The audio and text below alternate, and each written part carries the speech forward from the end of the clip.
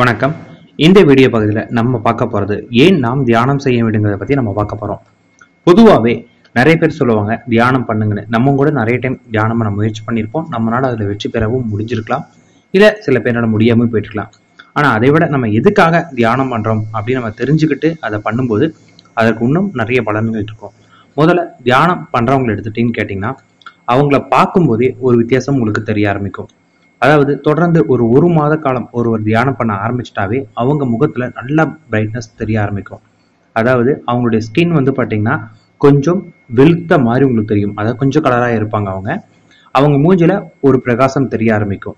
அந்த பிரகாசம் அந்த வெளுத்ததுக்கு காரணம் என்னன்னு கேட்டிங்கன்னா தியானம் பண்றனால அவங்களுடைய உள்ளுறுப்புகள் தூய்மை அடைய ஆரம்பிக்கும் அதுலேயும் முக்கியமாக அவங்களோட ரத்தம் கிளீன்சிங் ஆக ஆரம்பிக்கும். அதனால அவங்களுடைய உடம்புல வந்து பார்த்தீங்கன்னா பல மாறுதல் தெரிய ஆரம்பிக்கும். அடுத்தது தியானம் பண்ணுறனால ஒரு குறிப்பிட்ட விதத்துல அவங்களுக்கு ஃபோக்கஸிங் ரொம்ப அதிகமாகவே இருக்கும். அவங்க ஏதாவது ஒரு வேலை பண்றாங்க அப்படின்னா அதுல நூறு சதவீதம் அவங்க முழுமையா வேலை செய்ய ஆரம்பிப்பாங்க. அவங்களுக்கு என்ன தேவைன்னு அவங்க நினைக்கிறாங்களோ அதுல அவங்க நூறு சதவீதம் முழுமையா பண்ணுவாங்க.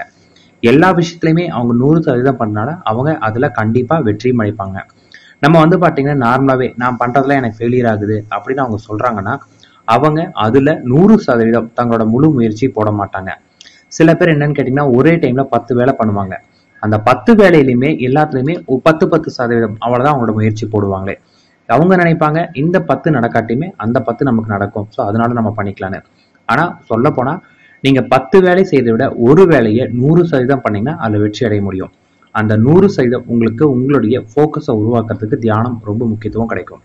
அடுத்தது உங்க வாழ்க்கையில உங்களுக்கு ஏதாவது ஒரு விஷயங்கள் தேவை அப்படின்னு நீங்க நினைக்கிறீங்க. அதாவது அது எதுவா வேணாலும் இருக்கலாம். உங்களுக்கு ரொம்ப பிடிச்ச ஒரு நபரா இருக்கலாம் இல்ல பணமா இருக்கலாம் இல்ல நீங்கள் நீங்க ஆசைப்பட்ட ஜாபா இருக்கலாம் இல்ல ஏதாவது ஒரு வண்டியா இருக்கலாம் வீடா இருக்கலாம். நீங்க எதுவா இருந்தாலுமே நீங்க தியானம் பண்ணும்போது உங்களுடைய கவனங்கள் முழுமையா அந்த ஒரு விஷயத்துல குவிய ஆரம்பிக்கும். அப்படி குவியறனால நீங்க சீக்கிரமாவே அதை அடைஞ்சிடுவீங்க. தியானம் சரியா பண்ணிட்டு வரவங்க அவ்வளவு சீக்கிரம் வந்து பாத்தீங்கன்னா கத்த மாட்டாங்க. ஏன் கத்த மாட்டாங்கன்னு கேட்டிங்கன்னா அவங்களுக்கு தெரியும் அவங்க ஆசைப்படுற விஷயங்கள் அவங்களுக்கு கிடைச்சிடும் அப்படின்னு.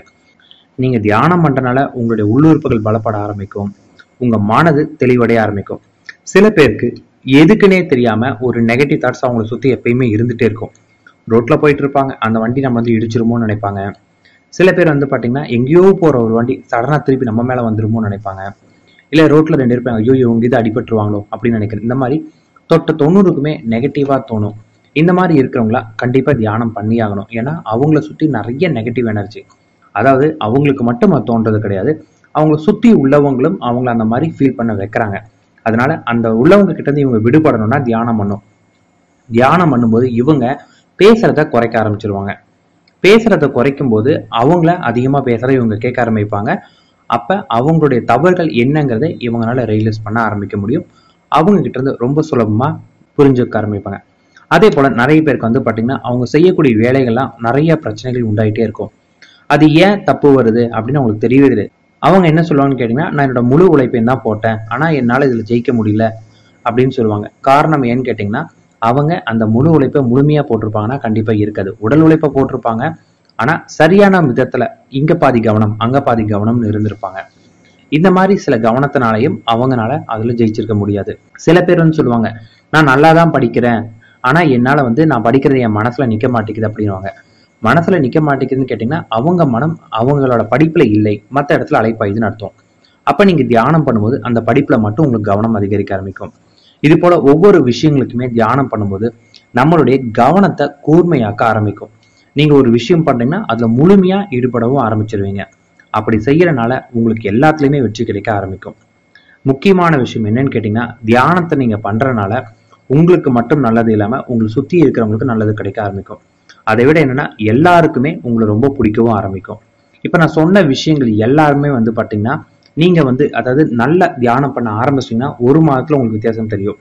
உங்களுக்கு ஒரு மாசத்துல அதாவது நீங்க இப்பதான் தியானமே பண்ண ஆரம்பிக்கிறீங்கன்னா குறைஞ்சது ஒரு மூணு மாதமாவது தியானத்துல உங்க மனம் ஒன்றதுக்கு நேரம் எடுக்கும். இதெல்லாம் நீங்க பண்ணீங்கன்னா உங்களுக்கு கண்டிப்பா மாற்றங்கள் உங்களுக்கு தெரிய ஆரம்பிக்கும். பல மாற்றங்கள் உங்களாலேயே உணரவும் முடிய ஆரம்பிக்கும். நன்றி வணக்கம்.